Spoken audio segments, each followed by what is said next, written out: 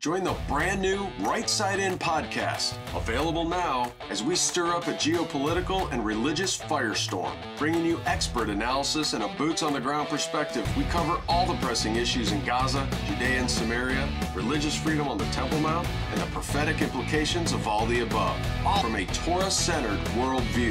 Defy the censorship and discover the truth that Washington and the world would rather you didn't see. Subscribe today and don't miss another episode.